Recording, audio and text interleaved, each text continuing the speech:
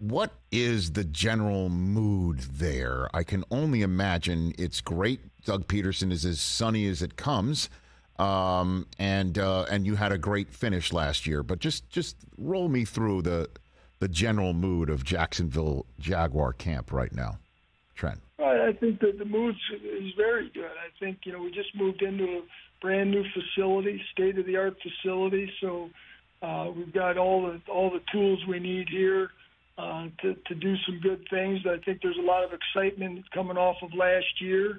You know, and Coach and I talk all the time. You know, that last year's over. It's a new year, new challenges, new football team. Even though there's a lot of the same faces, every year the team's a little bit different. So we're excited about the way they're working, the way they're coming to work every day, the attitudes that they have. It's a young group. It's a fun group. It's got a lot of energy, and of course, coach I think does as good a job as anybody in messaging these guys and working with these guys. Based from your them. based from your uh, perspective, when when did things click? When did things take a turn? I know Doug mentioned the uh, London game in which uh, Trevor had a poor outing and took it to heart, and and he completely turned things around uh, on the turnover front there. But I'm just wondering where you would peg uh, a turning point last year to the momentum carried to this conversation right now. You know, I, th- I think it there, it was kind of a transi- transition throughout that that stretch where we were coming up short. You know, and I thought Coach did an outstanding job of messaging the guys, and the guys believing in the message, and they they just never quit working you know, you could tell that at some point it was going to turn. You didn't know when, but you just felt that at some point it would get there. And Coach mentioned the game in London and, and Trevor and you know how he had taken that loss to heart and changed some of the ways he went about his business. But uh, you know, I just think it was a young group that that uh, coach just kept the faith in, and they kept the faith in themselves, and they worked through it. Trent Baalke here on the Rich Eisen Show, and your expectation level for Trevor Lawrence is for 2023. well, I, I think it, the sky's the limit for Trevor. You know, he's uh, he's got all the talent in the world. It's important to him. He's he's really taken on a leadership role. It's the second year in a system where he's got a great connection with with obviously the head coach and the and the coaches that work with him on the offensive side of the ball. He's got great faith in the in the skilled position players around him and the offensive line. I, I think the sky's the limit, but uh, there's a lot of work to be put in before we get there. Give me your favorite Trevor Lawrence story, where because again you've been around some quarterbacks that are difference makers. Certainly arms and legs. Kaepernick's a good one as well. I'll throw his name out there as well. But um, give me give me one story about Trevor Lawrence where you're like, okay, this is this is a special kid. You got one for me, Trent?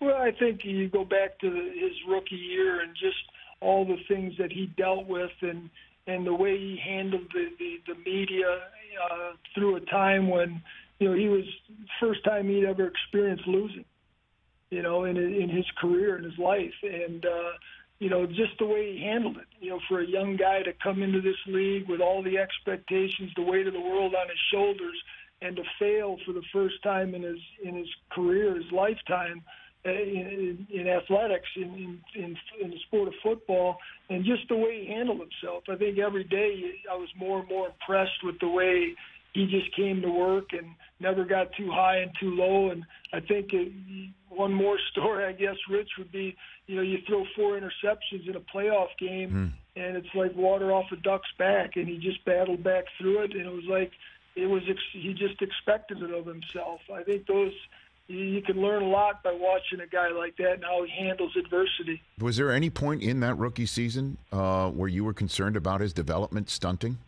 Trent? Uh, I think no, because of the way he handled himself and the way he handled, you know, just the the setbacks and the adversity was just you know, it, it, shit, it, taught me, it taught me a lot. You know, just looking at him and the way he handled himself, and and uh, so I, I wasn't worried about his development. I knew it would come. Uh, you know, sometimes you got to go through some tough times to get to the to the good times, and, and he showed that. Is there uh, a plan in your drawer anywhere in your desk, knowing that uh, Trevor's going to come with a bag? sometime next year, Trent, and say fill it up. Is there is there is that part of your generally managing the situation right now? Yeah, I, th- I think that's an expectation that we're all aware of, and it, it's going to happen sooner rather than later. But you know, we got a lot of ball to play this year, and, and we'll worry about that when the time comes. But it, you know it's coming, clearly, right? yeah, I guess the the safe bet would be to say yes. Well, I, am assuming that's why you won the Mega Millions, right, Trent? There in Jacksonville, the winning ticket was sold there, right? Was that part of that, well, right?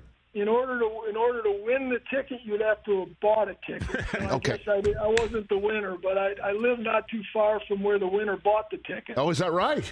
So. Oh yeah. So you, I mean, not to rub it in, but you you could have, right? It's entirely. So let me ask you this question: Had you won the Mega Millions, would you be on this phone call with me right now, Trent Baalke? well, a- absolutely, absolutely. Okay. This this is too good a situation to walk away from. Catch the Rich Eisen show every single day on the Roku channel, 12 to 3 Eastern, for free.